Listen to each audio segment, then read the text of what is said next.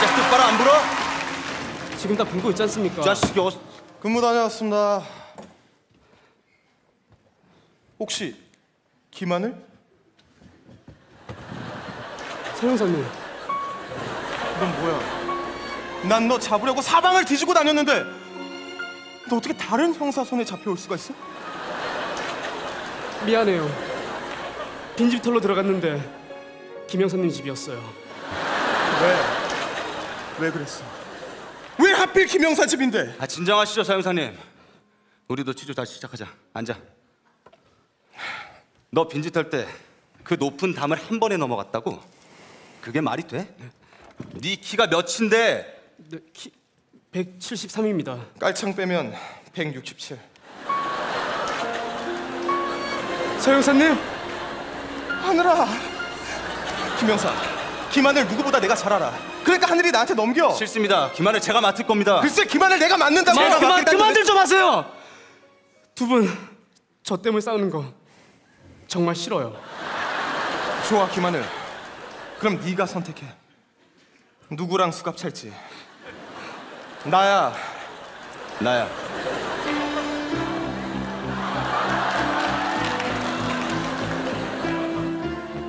결정했습니다.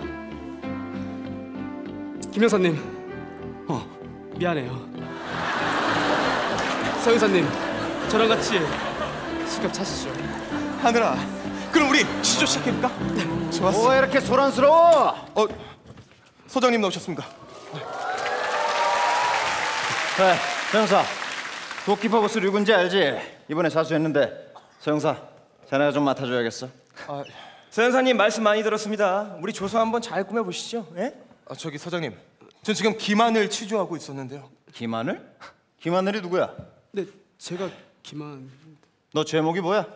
네 빈집털이 전과 삼범입니다. 뭐? 빈집털이?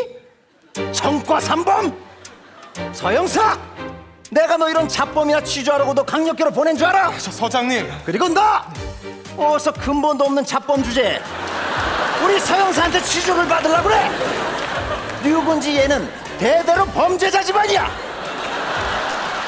서장님 누가 네 서장이야? 어디 잡범 주제 되먹지 못하게 그만 주세요. 서장님이 뭐라고 하시든 저 김하늘 취조할 겁니다.